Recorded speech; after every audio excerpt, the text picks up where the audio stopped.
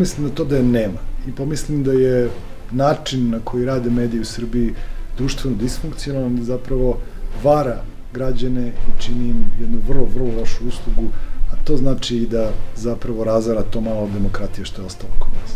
Mislim da je došlo vreme da se naše kolege lepo opredele, da li su na ovoj strani gde pokušavamo da budemo profesionalni, da očuvamo svoje dostojanstvo ili pristaju na uništavanje demokratije i pomažu u tome svojim neradom ili lošim radom.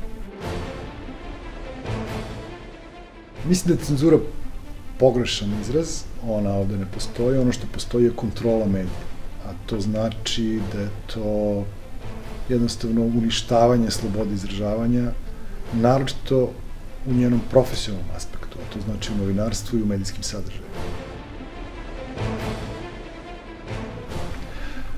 Informer u negativnom smislu, obrnuta proporcionalna odgovornost.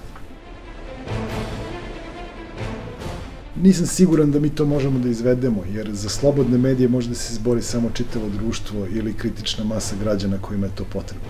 Ja mislim da mi jedino što možemo da uradimo jeste da sačuvamo seme slobodnih, profesionalnih i normalnih medija za neko vreme kada će politička alternativa koja je zaista stala do demokratije i do ravnopravnosti, do ljudskih i građanskih prava, pokušati da koliko toliko sredi ovu zemlju koja je pošla onako ozbiljno nizbrdo ka totalitarizmu. ne idu nigde. Ne idu nigde. Oni koji rade kako treba nemaju ovaj priliku da se obrate građanima.